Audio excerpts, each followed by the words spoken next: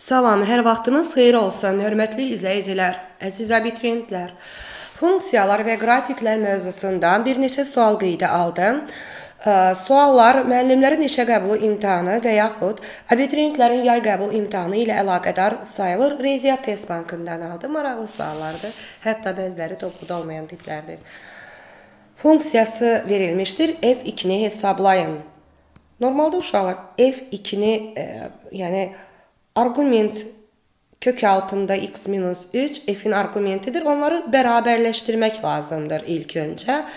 Yəni kök altında x minus 3 bərabərdir 2. Aydındırmı? Arqumentləri bərabərləşdiririk və hər iki tərəfi kvadrata yüksəldirik. x-i tapırıq. 4 üstə gəl 3 7. Və sonra bərabərlikdən sağda x-in yerinə 7 qoyuruq. Aydındırmı? Yəni 7 minus 5 vurma Kök altında 7 minus 3 üstəgəl 2. Bax bu şəkildə hesablayırıq. Olur mənfi 3 üstəgəl 2 mənfi 1. Növbəti sual funksiyasının mənfi olduğu aralığı tapın. Normalda mənfi nə deməkdir? Yəni y kiçikdir 0. Aydındırmı? Yəni funksiyamızı kök altında x minus 2 minus 3 ifadəsini 0-dan kiçik nəzərə alıram.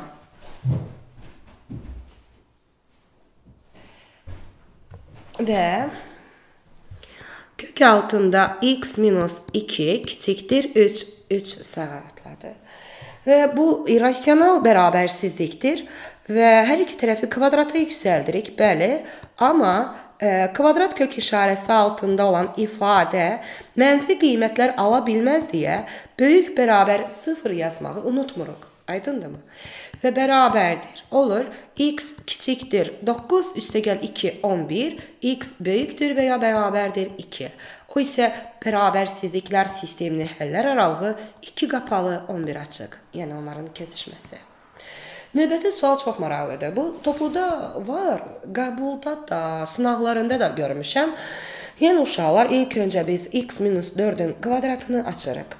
Olur x kvadrat minus 8x üstəgəl 16. Minus p minus 5x ə, e, xeyr, o olduğu kimi qalır. Belə. Sonra x bax x ortaq vuruq kimi mötərizə xaricinə çıxarılır. Niyə? Funksiyanın cüt funksiya olması üçün, cüt funksiya olması üçün. Burada x-in üstü cütdür, o heç. Amma x mütləq x aradan götürülməlidir. Belə deyim. Yəni x-in əmsalı 0-a bərabər olmalıdır. Yəni tək üslü qüvvətdir. Onun əmsalı 0-a bərabər olmalıdır ki, mənim funksiyam cüt funksiya olsun. Aydındırmı? Ona görə uşaqlar biz x-i mötərizə xaricinə çıxardırıq. Qalır -8 minus p üstəgəl 5. Aydındırmı? Və e, dediyim kimi x-in əmsalını 0-a bərabər yazırıq. Olur. Mənfi 8 minus p plus 5 bərabərdir 0. p bərabərdir mənfi 3 alınır. Növbəti sual funksiyasının artma aralığını tapın. Belə baxanda uşaqlar kx plus b xətti funksiyadır və əgər k müsbətdirsə, yəni x-in qarşısına duran ədəd, yəni bucaq əmsalı 0,8-dir, məndə müsbət 0,8 və qaydalara görə xətti funksiyada bucaq əmsalı müsbətdirsə, təbii ki, o artandır sayılır. Yəni daim artandır sayılır. Yəni bütün ədəd oxunda artandır sayılır. Aydındırmı? Yəni e, burada artma aralığı Mənfi sonsuzluq, müsbət sonsuzluq qəbul olunur. Əslində mən onu qrafikdə də sizə göstərə bilərəm. Azalma aralığı yoxdur, yəni daim artandır. Yəni y oxunu ə, e, mənfi 4, yəni 1 3-dən keçəndir. Yəni x artdıqca y artır. Yəni bu daim artan funksiya sayılır. Yəni mənfi sonsuzluq, müsbət sonsuzluq artma aralığı sayılır. Növbəti sual təyin oblasını tapın. Gördüyünüz kimi kəsrin surətindəki ifadə kvadrat kök işarəsi altındadır və biz onu böyük və ya bərabər 0 nəzərə alırıq. Çünki ə, kvadrat kök işarəsi altında olan ifadənin qiyməti mənfi qiymətlər ala bilməz. Amma məxrəcindəki ifadəni isə sıfırdan fərqli nəzərə almağı unutmuruq. Çünki kəsrin məxrəci sıfıra bərabər ola bilməz. Olur x böyük və ya bərabərdir mənfi 5, x fərqlidir 2. Yəni, x-in aldığı qiymətlər mənfi 5-dən böyük və ya bərabər olan qiymətlərdir, amma 2 xaric. 2 xarici, bəli. Yəni 2 ola bilməz. Bu isə o deməkdir ki, mənfi 5 qapalı, 2 açıq. Yəni birləşmə 2 müsbət sonsuzluq. Təkrar edirəm. Yəni x mənfi 5-dən böyük bərabər, amma 2 fərqli. Ona görə onun təyin oblasti mənfi 5, 2, 2 müsbət sonsuzluq kimi yazılır. Uşaqlar e, düz xəttin bucaq əmsalını tapın. Y bərabərdir qaydanı qeyd edirəm. kx plus b şəklində verilmiş funksiyada k bucaq əmsalı adlanır. k düz xəttin bucaq əmsalı adlanır uşaqlar. Ona görə mən funksiyamı ilk öncə kx plus b şəklinə, yəni y bərabərdir kx plus b şəklinə salıram. 5y bərabərdir 6x plus 4. Yəni buradan y-i tapıram. Olur y bərabərdir 6 böl 5x üstəgəl 4 böl 5. O isə bucaq əmsalı, yəni kx plus b kimi baxsaq, düz xəttin bucaq əmsalı 6 böl 5 olur. Növbəti sual təyin oblastını tapın. Diqqət edin, kökün dərəcəsi təkdir uşaqlar. 3-dür kökün dərəcəsi. Bu deməkdir ki, x istəniləndir. Amma, amma, amma kökün ə, e, daxilində olan ifadə nəzərə alaq ki, kəsrdir və kəsrin məxrəci sıfıra bərabər ola bilməz. Ona görə biz sadəcə, sadəcə kəsrin məxrəcini sıfırdan fərqli nəzərə alırıq, başqa heç nə. Yəni x fərqlidir 4. Yəni təyin oblasti, yəni ə, x-in alacaqları mənfi sonsuzluqdan 4-ə birləşmə 4 müsbət sonsuzluq. Aydındırmı? Yəni tək dərəcəli kökdür. Orada x istəniləndir. Tək dərəcəli kökün altı mənfidə dura bilər, problem yoxdur. Amma 4-dən fərqli x 4-ə ala bilməz çünki məxrəc sıfıra çevrilər. Növbəti sual simmetriya oxu. Ümumiyyətlə bu simmetriya oxu topluda yoxdur. Yəni normalda uşaqlar simmetriya oxu bilirsiniz nədir? Yəni kvadratik funksiyanın qrafiki paraboladır və e, onun təpəsindən keçən düz xətt belə deyim, x bərabərdir x0 düz xəttdir. x0 təpə nöqtəsinin apsisidir və bu onun simmetriya oxu adlanır. x0 isə mənfi 1 bölü 2 adi üstürünə görə tapılır. Aydındırmı? Yəni paraboladır kvadratik funksiyanın qrafiki. Belə uşaqlar. İndi bizim funksiyada x0, yəni təpə nöqtəsinin apsisini mənfi 1 bölü 2 adi üstürünə görə tapılır. Adamlar mn işarə edir. İndi o problem deyil. Mən x0 kimi işarə etdim. Təpə nöqtəsinin apsisini mənfi 1 böl 2 adi üstürünə görə tapıram. Olur 24 böl 2 vur a, yəni 2 vur 4. Yəni mənim funksiyamda a 4-dür. Birinci hədəmiz sual. Belə uşaqlar, olur 24 böl 8 3 və x bərabərdir 3 düz xətti bu funksiyanın simmetriya adlanır. Növbəti sual çox maraqlıdır. fx funksiyası bizə, yəni çevrilmiş biz buna çevrilmiş kvadrat, yəni kvadratik funksiya deyirik. x kvadrat plus q şəklində Və uşaqlar e, parabola x oxunur. Bax bu x2-dir. Yəni biri x1-dir, x1 məlum deyil, amma x2 2-dir. Bəli. Qeyd edək burada x2 bərabərdir 2. Amma biz bilirik ki, parabola y oxunur e, kəsdiyi nöqtə sərbəst xəttidir. Onun yəni c-sidir. y bərabərdir ax kvadrat üstə bx üstə c kimi baxsaq, onun c-sidir. Amma bizdə c yəni sərbəst xəttimiz q-dır uşaqlar. Yəni burada q hal-hazırda mənfi 6-dır. Aydındırmı? Belə. İndi uşaqlar biz Viet teoremindən istifadə edək. x1 vur x2 bərabərdir c bölə. Yəni Viet teoreminə görə x1-i gəlin tapaq. Or x1 vur 2 bərabərdir c, yəni q. A yəni 1, birinci hədəm misalı. Ay, Q-ni yazdım. Q-nun qiyməti məlumdur. Mənfi 6. C yəni mənfi 6, A yəni 1. Uşaqlar buradan olur x1 bərabərdir mənfi 3. x1-i tapdım. İndi isə gəlin p-ni tapaq. Onu isə B teoreminə görə x1 plus x2 x-in qarşısında duran ədədin, yəni p-nin əksinə bərabər olmalıdır. 1. Və uşaqlar x1-in yerinə mənfi 3, x2-nin yerinə isə 2 qoydum və buradan p-ni 1 tapdım. Belə. İndi isə F7 tələb olunur. F7 x-in yerinə 7 qoymaq deməkdir verilmiş funksiyada. 7-nin kvadratı 49 üstəgəl px, yəni 1 vur ə, 7 minus plus q, yəni minus 6. O isə 50 edir. Növbəti sual ə, e, var topludur. Təpə nöqtələri arasındakı məsafənin bəlkə bu il yay qəbulunda bəlkə iştirak. Birinci funksiyamız x kvadrat minus 10x üstəgəl 5 15 funksiyasıdır. Və biz onu x minus 5-in kvadratı e, üstəgəl üstəgəl yox, minus 10 kimi yaza bilərik. Çünki 25 minus 10 15 edər, problem yoxdur. Və bunun təpə nöqtəsinin koordinatları 5 mənfi 10 sayılır bu parabolanın. Amma ikinci funksiyamız da 2 ədinin kvadratını ayırsam x plus 7-nin kvadratı üstəgəl 6 kimidir. Düzdürmü uşaqlar? Və onun təpə nöqtəsinin koordinatları isə mənfi 7 müsbət 6 sayılır. Və uşaqlar iki nöqtə arasındakı məsafəni, yəni düstura görə, yəni iki nöqtə arasındakı məsafənin tapılması düsturuna görə, yəni biz onu tanıyırıq x1 minus x2-nin kvadratı üstə y1 minus y2-nin kvadratı kimi tapıram. Yəni 5 minus mənfi 7, 12 kvadratı 144 üstə gəl. Mənfi 10 minus 6, mənfi 16 kvadratı 256. O isə 400 edir və 400-ün kvadrat kökü 20-yə bərabərdir. Növbəti sual maraqlıdır. F, bu şəkildə bir funksiyadır. 2 fx plus 1 bərabərdir fx minus 3 minus 6. F2-ni tapın. Uşaqlar, e, F2-nin tapılması üçün belə deyim, x-a 1 qoyulması lazımdır. Əgər x-a 1 qoysaq, F2 meydana çıxar, belə deyim. Olur 2 vur F2, yəni 1 üstə 1. Bax, burada x-in yerinə 1 qoyuram, həm də burada qoyuram, təbii ki. Həm sağda, həm solda qoyuram. Olur f2 bərabərdir f1 minus 3 mənfi 2. Eyb yox, eyb yox. Uşaqlar, diqqət edin şərtə tək funksiyadır. Tək funksiya o deməkdir ki, uşaqlar, f mənfi 2 mənfi f2-dir. Aydındırmı? Bəli, bu tək funksiyanın özəlliyidir, onun xassəsidir. f mənfi 2 f mənfi f2-yə bərabərdir tək funksiyalarda. Ona görə uşaqlar, mən nə edirəm? f mənfi 2-nin yerinə mənfi f2 yazıram. Aydındırmı uşaqlar? Minus 6 olur 3 F2 bərabərdir mənfi 6 və F2 bərabərdir mənfi 6 böl 3. Yəni mənfi 2 doğru cavabdır.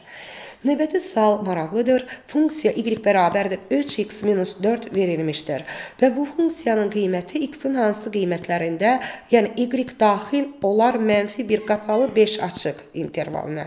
Bu deməkdir ki, uşaqlar, y, yəni 3x minus 4 ifadəsini mənfi 1-dən böyük və ya bərabər, amma 5-dən kiçik qəbul etməliyik. O isə 2 qat bərabərsizlikdir. Mənfi 1 plus 4 3 edər. Və buradan alınır e, x böyükdür 1, böyük bərabərdir. Və kiçikdir 3. O isə 1 qapalı, e, 3 açıq e, intervalı doğru cavabdır.